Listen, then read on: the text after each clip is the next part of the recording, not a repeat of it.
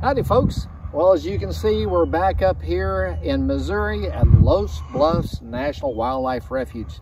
My brother and I are out here seeing what we can find. I understand last week was Eagle Day, so there's supposed to be a bunch of eagles, so we'll have to see if we can find those. But the neat thing about these refuges is different times of the year that you come, there's always something new to see and great photos to find. So let's go see what we can find today.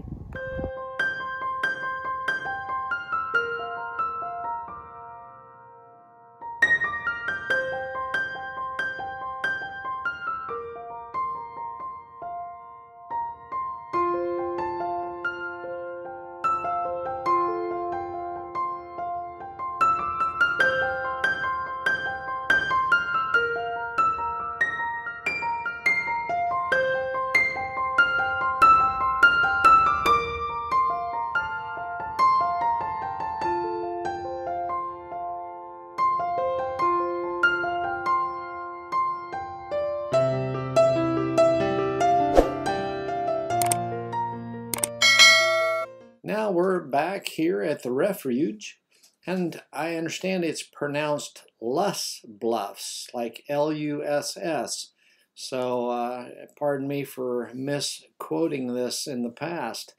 But this is a great place. It's just southwest of Mound City, uh, which has got a couple nice little hotels there that you can stay in. And here you can have all sorts of access to a beautiful wildlife area. Uh, if you see, it's just here off of Highway Interstate 29, and you can come in here on this 159 into the park. There's a kind of a bigger loop and then a smaller loop. Uh, this trip was very unique because the first day it was overcast, but it finally burned off in the afternoon, and we got some great sunshine for uh, viewing the eagles. But then the next day, on Sunday, it was actually all frost over, and it was more like a winter wonderland. So you never quite know what you're going to get. But you ought to check places like this out and see what's in your area of a similar wildlife refuge because they actually have them all over the states. So anyway, Let's go see what we found inside. Well, this is right at the entrance uh, to the refuge. The first thing we can see is there's a lot less water this year than there has been in the past. So it looks like the, uh, the birds are going to be a little farther out. So it might be a little challenging, but uh, and hopefully the uh, the cloud cover will burn off like the weathermen say.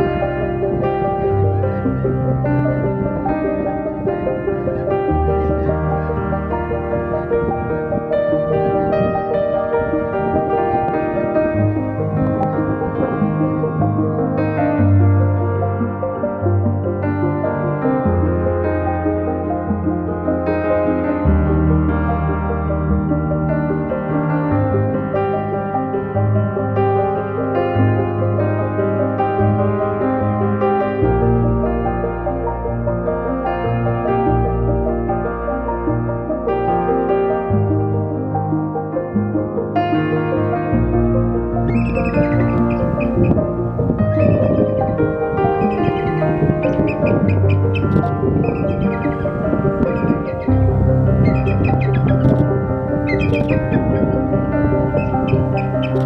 you.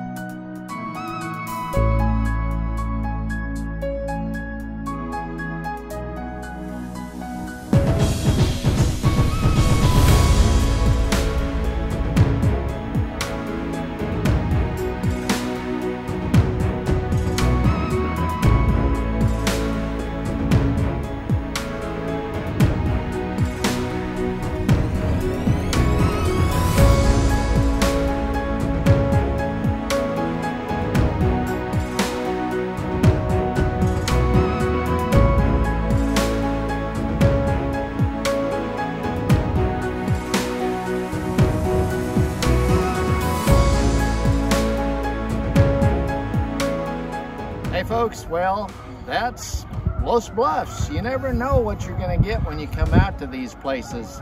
As you can see, today's a lot different from yesterday. We got a lot of ice, a lot of cold. Luckily, there's not a lot of wind, so it's not a big deal on the cold. But it's been a lot of fun because you always can find something to get a fun photo. As you can see, all the geese that's landed out here, it's kind of gray, but it's that wintry feel, so it's really cool. So hopefully you enjoyed this video, and if you did, please hit like and subscribe, and we'll see you on our next adventure.